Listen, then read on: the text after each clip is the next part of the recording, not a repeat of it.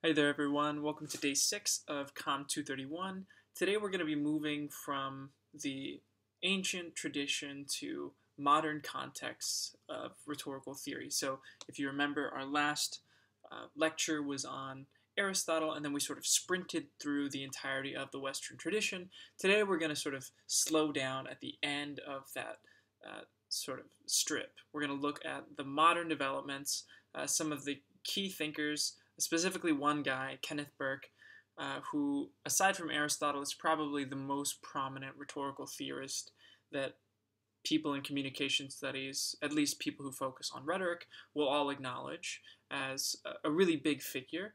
And we'll look at a little bit of his work to sort of preload concepts to help us in our discussion and analysis of a documentary that we'll watch on Tuesday. Before we do that, though, uh, as you hopefully already saw in the week two overview video that I sent out on Canvas, our midterm is going to be on Wednesday. So we are going to start wanting to review some of the material that we've gone over the past week. Uh, it primarily is just going to be stuff from last week and from the first half of this week. So it's not a huge amount of material.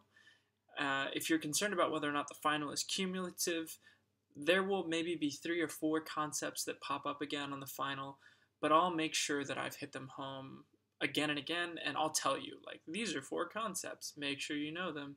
So it, don't don't worry too much about that.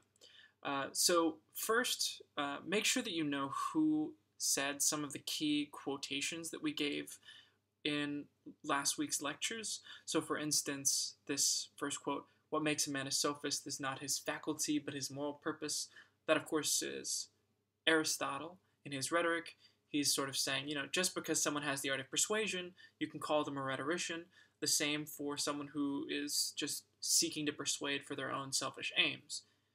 In dialectics, it's different. Someone's either a dialectician or they're not. Either they're interested in, you know, analyzing ideas or they're not. They're just out there for their own selfish purposes. This second one, rhetoric is the art of enchanting the soul, the art of winning the soul by discourse. That's Plato's definition of rhetoric. Remember, Plato was super skeptical of any kind of rhetorical attempt. He, he really just wanted things to be laid out logically, dialectically. He wanted to be able to stand in the street with you. Well, at least from what we glean in the Socratic dialogues, that Socrates should be able to stand there next to you and, you know, have it out, have a deep discussion about you know, justice or virtue or whatever it is that you want to persuade people about. Rhetoric, on the other hand, other hand, of course, is going to be before an audience, and you know, a bunch of assumptions are going to be baked into what you're talking about. Remember that that term enthymeme. Uh, the difference between a syllogism and an enthymeme is that the enthymeme just builds on common assumptions. There are premises that are sort of clipped away, that are buried, and that aren't going to be explicitly stated. That's super important. Um, and actually, enthymeme isn't on our list on the next slide, but that probably will end up being on the study guide. So make sure that you look through that. This next word here, uh, or not word, this next quote comes from one of the sophists. He says, There is no truth, or if there is, we cannot know it. Or if we can know it, we can never communicate it to another.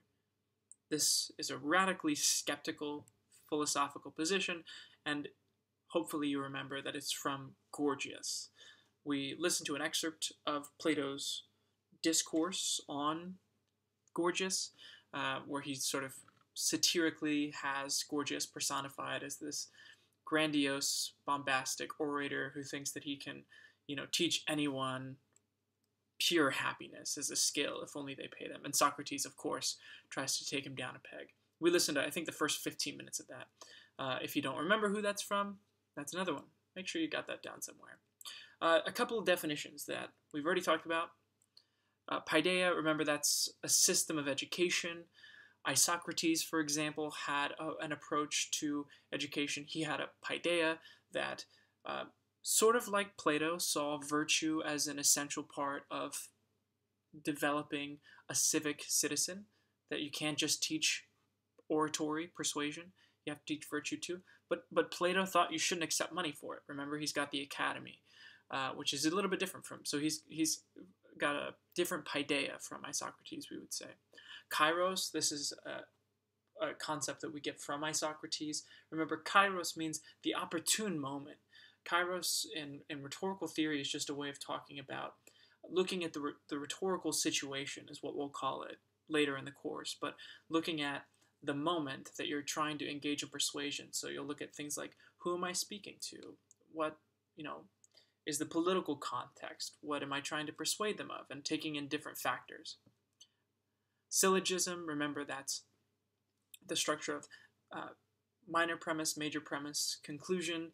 The cliche example that you'll hear over and over again is uh, all people are mortal, Socrates is a person, therefore Socrates is mortal. That's the syllogistic structure. It's a part of the dialectic. Uh, enthymeme, good. Okay, so it is on the list. Uh, an enthymeme is that same kind of syllogistic structure, but one of the premises is going to be clipped away. So we would say Socrates is a person, therefore Socrates is mortal. Of course, that assumes that all people are mortal. That example is sort of vanilla, but when it comes to some of the more interesting examples, it's when you can see that people are making all sorts of assumptions in arguments that they're making. Those are enthymetic, and, and that's going to be really crucial uh, if, if you want to engage in rhetorical analysis or if you're just interested in uh, what it means to be a rhetorician. That's, that's one of the essential building blocks of rhetorical theory. The sophists, we talked about them a whole bunch. They were just people who accepted money to teach others how to persuade audiences, which was super important in ancient Athens.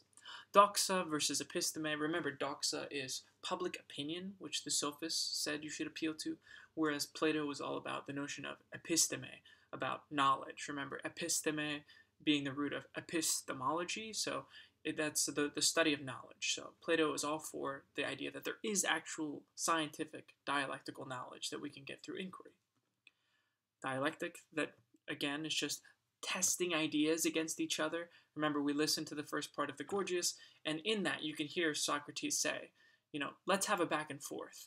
You say something, I'll test whether or not that's true, and then if we have a different conception of things after that, then we'll keep this back and forth going. Let's really try and work through this. And you can even see elements of the scientific method being sort of uh, sowed in that in that form of discourse. And agon that comes from Protagoras. Remember, agon, uh, the same root that you see in words like antagonistic, agon being a kind of strife. And so Protagoras, remember, he says, I can make the worst case the better. He thinks that things are all up for debate. It, it, there's nothing that can be settled as absolutely true because you can persuade people of anything, because uh, he is a sophist. So uh, Agon is his notion that democracy is founded on strife, that there is always in, inherently some sort of struggle inherent to deliberation, and that's why the sophists saw themselves as providing a key service, because they said, you know, there's always going to be disagreement, so pay us and we'll help you win your argument. Uh, one of the other key things to get down somewhere, if you haven't already, is the analogy that Plato or that Socrates makes to Gorgias in the dialogue that we listened to. Uh, essentially, remember that medicine is to cookery as rhetoric is to justice. So remember, the true arts of health, these are things that actually aim at what is best, kind of like that notion of arete that we talked about, uh, in contrast to uh, techne, just like knacks or crafts that you can contextually engage in, but that actually are kind of uh, fallacious in, in Plato's perception. So, medicine is to cookery as justice is to rhetoric. That's just an important metaphor that you definitely want to have down somewhere. We already talked about doxa versus episteme, so I'm not, I'm not going to harp on this uh, here, but feel free to look through this slide if you are still on the fence, because I think this little table helps explain some of that. So today we've got a nice uh, video essay that I think does a really great job of connecting things from uh, social social psychology and modern examples of persuasion. Specifically, the video looks at the world's most wholesome fella, uh, Mr. Rogers, as he makes a plea to uh, a committee on why they should continue to fund uh, children's television services that are aimed at, at, at education. Uh, and I think it does a really nice job of, of explaining why persuasion is super important for any kind of uh, educational experience, why it's something that everyone should have some sort of uh, experience with. So we'll, we'll, watch that. It's a, it's a little over 20 minutes, but I think it does a really nice job. Some elements of it, uh, you know, we, we could unpack critically, like the the beginning of the video starts with a Hume quote, and some of the people that are cited have arguments that you know we certainly could uh, not necessarily critique, but we could you know take apart in, in, in a certain sense. But I think for the most part, the video does a really nice job of getting across some key ideas and making a case for why it's important to understand the art of persuasion.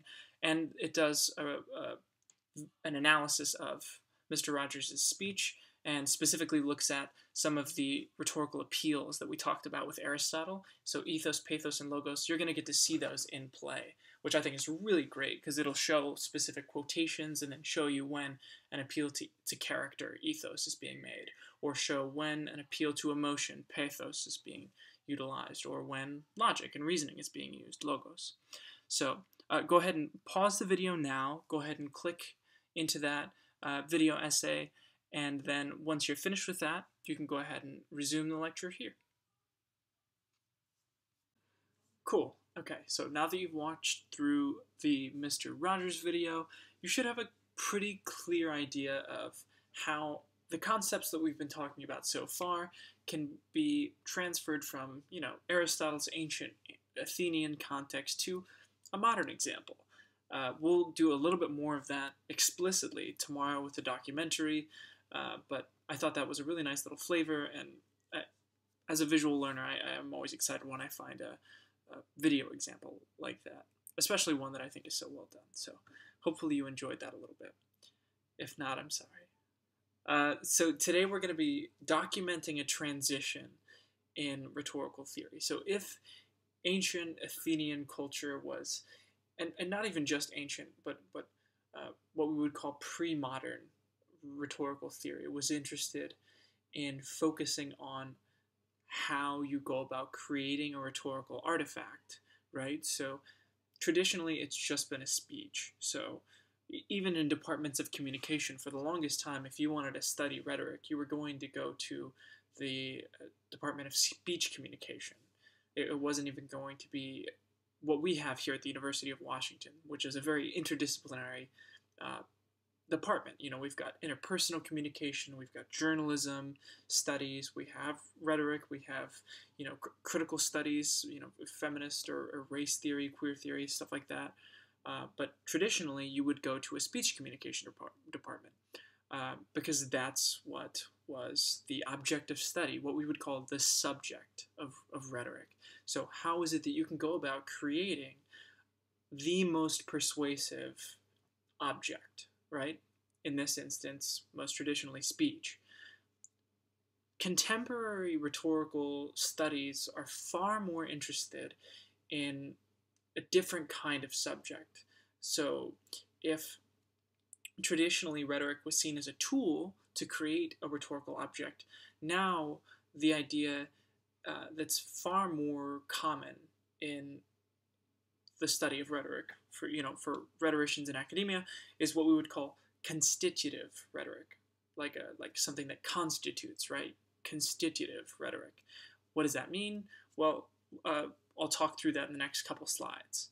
Uh, I didn't exactly read through this text here, but if you didn't understand what I just said, maybe it'll uh, make it a little clearer. So let's look at it, two different art artifacts. So first we'll look at the Mona Lisa, and then we'll look at another painting called La Meninas. And I think it'll hopefully explain part of what, what we're getting at with this transition and this, the change in the subject of rhetoric. The Mona Lisa is uh, the Mona Lisa is often praised for the technical expertise that went into making it, or you know what art critics would say is a kind of technical expertise. The same would be said of traditional rhetorical studies, that they're more interested in the expertise that go into crafting the ideal rhetorical artifact. So here at the very bottom, you can see a little diagram. You are making something here, how you produce an ideal form. That's that's the traditional rhetorical approach. Uh, instead, we have a transition in subject. So th- this is a super famous painting uh, in art criticism. Uh, if you aren't familiar with it, it's by Diego uh, Velázquez. It's called La Meninas. You might think initially that the subject of the painting is this little girl right here, and you know she's surrounded by a bunch of other people, so she's probably pretty important. But then, uh, upon closer analysis, you can actually see that they're all looking at you. There's there's even a painter here painting you. Well, who are you in this instance?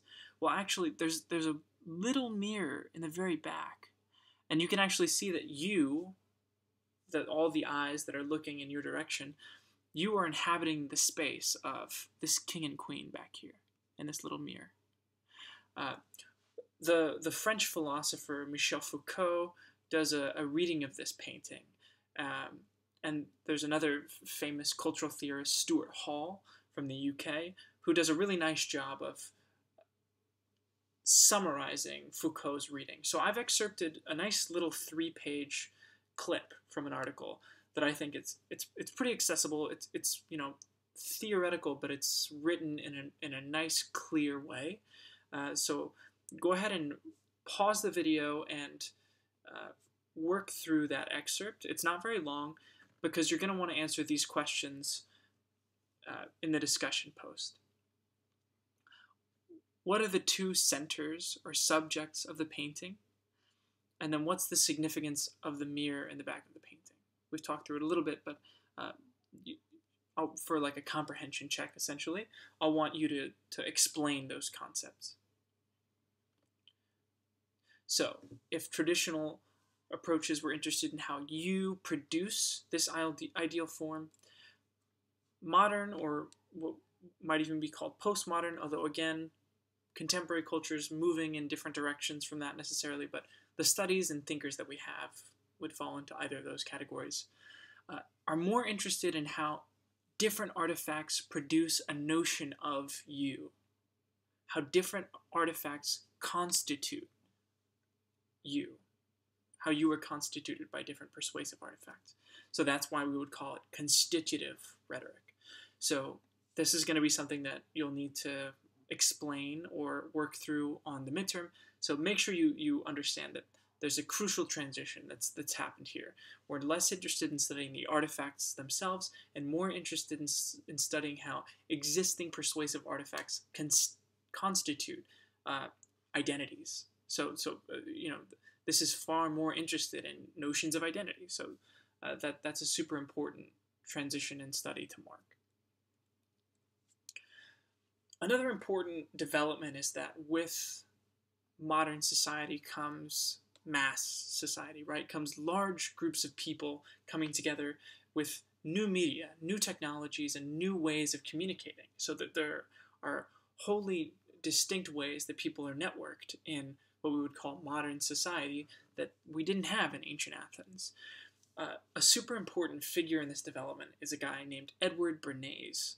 So Edward Bernays is sort of often called the father of public relations. So not only did he help develop public public relations in the sense of you know marketing campaigns, so what we know of as brands today owe a whole lot to Edward, Edward Bernays, but he's also often cited as one of the key people who instantiated the modern idea of a presidential campaign, that a president should approach uh, the democratic population and think of themselves as a kind of product. Think of their their term that they're trying to, you know, earn the vote for from from people in, in the society as a kind of product they should try and brand themselves so he's he's even got a book that's super uh, famous called propaganda and it's not necessarily meant in the kind of pejorative sense that we mean it today. It, it more so is, I mean, it's still kind of manipulative, right? But it's it's ambiguous. So it's still getting at an argument that mass publics need to be controlled in democratic societies, which is, is a controversial argument, to say the least. Uh, and we can even see the importance of this today when we look at something like the 2008 presidential campaign. Uh, the the award for the best advertisement, the industry award comes from a publication called Ad Age. The winner of the industry award for advertisements in 2008 wasn't, you know, a Tide commercial or well, actually Apple was in the running, uh, the maker of everyone's phone. But actually, the winner was Barack Obama's presidential campaign. They said, You did the best job of branding. They, they saw the Obama Hope campaign as a brand, as a, as a product. Uh, so we still see this, this sort of public relations arm of persuasion active in modern society. And you know, if you flip on any television, most of us have streaming services now, but if you go to your parents and they pay for cable, who knows why, you're probably going to see that 75% of what you're watching is advertisements. And if you took a, a, English 101 class, probably at some point they made you deconstruct an advertisement from Calvin Klein. Uh, so th- this stuff is all super pervasive today. We take it for granted, um, but this stuff all is is, is part to, uh, partly thanks to Edward Bernays and his work. Here's another example of this intersection between what we were talking about with the Las Meninas painting, with this notion of constitutive rhetoric, and this this idea of propaganda, right? Um, so obviously, this is what anyone sees in their you know American history class as the traditional form of, of military propaganda. Uh, but here we can even see the, a super explicit example of that notion of constitutive rhetoric, right? Who is the you in the Uncle Sam picture? of course it's super cliche, but th- this is this is the notion of the transition, right? Of, of what modern or postmodern rhetorical scholars are going to be more interested in is how is how is a notion of identity among a nation, among a subgroup, among a culture? How is it how is it created? How is it cultivated, sustained? How is it changed? Uh, all of these are going to be objects of study in you know our current Department of Communication among rhetorical scholars, uh, and these these cultural artifacts get at a part of that notion. For your discussion post today, what I'm going to ask you to do is pull out two key concepts from the bolded vocabulary in the first chapter of Rhetoric and Civic Life on, on uh, symbolic action uh, that you thought were interesting and worth exploring a little bit more provide the definitions for your peers just so it can kind of serve as a study guide in and of itself. You can sort of look back at this discussion board and see the definitions that other people pulled out. Uh, and then once you've pulled out definitions, just explain why you found them interesting. You could pull in, uh, you know, a contemporary cultural example or a personal experience or really anything that explains a little bit more about the concept as you understand it. Uh, the only thing I'll say is that you probably noticed that they did, you know, set aside about two paragraphs or so to brush through really quickly the ancient roots of the rhetoric that we talked about for the first week. I wanted to set aside a little more time because I think the debate between Plato and the Sophists is really important. But you might have also noticed that the, the authors of the book pretty explicitly side with the Sophists, and they acknowledge that there's a large uh, current in contemporary rhetorical scholarship that also sides with the sophists. That is the case, although I think it's sort of changing a little bit. And, you know, I'm not a tenured professor, so as a graduate student, I'm a little more interested in the newer conversations that are happening. Uh, although, probably in 15 years, I'll stop giving a crap and, you know, also just say the same stuff over and over again. But one thing that we see developing is a reevaluation of the debate between Plato and the Sophists. So that's what I wanted to explain a little bit more. So if if you were a little bit confused or you were intrigued by how they characterize that debate, uh, hopefully you have more context now that we've talked about uh, the the disagreements that happen and the different approaches to conceptualizing rhetoric. Uh, so that's just a, a, super brief aside on that. Uh, awesome. Okay. so next lesson uh, on Tuesday is going to be a documentary, and I'll do a little bit of a discussion on Kenneth Burke. I, I was initially going to do that for today's lesson, but I think it might be better to to begin our analysis of the documentary with those concepts fresh in our mind. So I'm actually going to save that material for Tuesday. Uh, I look forward to reading your discussion post as always. Don't don't feel scared to come to office hours. I know it's remote, so things are, you know, strange and it might feel weird to show up, but please, I, I would love to make this class feel a little more personal. And if multiple people come in and they're comfortable, you know, sharing their questions, I think that would be really cool. So please feel free to stop by office hours. Uh, otherwise, I'm excited to read what you have to say on the constitutive turn in rhetorical theory and the uh, definitions that we read through in this first chapter. Awesome. Take care.